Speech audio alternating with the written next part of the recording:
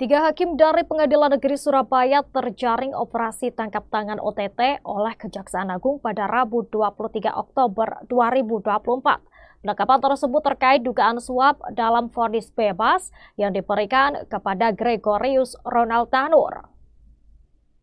Jaksa Agung Muda Tindak Pidana Khusus Kejagung Febri Adrian Syah membenarkan informasi tersebut. Ronald Tanur sendiri merupakan anak mantan anggota DPR RI yang sebelumnya terlibat kasus pembunuhan kekasihnya bernama Dini Sera Afrianti. Pada Juli 2024, Ronald difonis bebas dalam kasus tersebut yang kemudian memicu dugaan adanya intervensi dan suap di balik keputusan ini. Febri juga menambahkan bahwa seorang pengacara telah ditangkap sebagai pihak penyuap.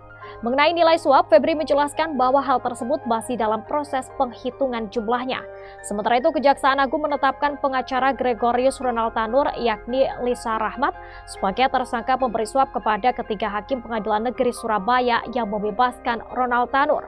Adapun Ronald Tanur adalah seorang terdakwa kasus penganiayaan terhadap kekasihnya hingga tewas yang dibebaskan oleh tiga orang anggota majelis hakim pengadilan Surabaya yakni Erin Tuah Damanik, Magapul, dan Heru Hanindyo. Abdul Kohar menyebut penyidik telah menangkap Lisa di Jakarta dan menggeledah sejumlah kediaman milik pengacara tersebut.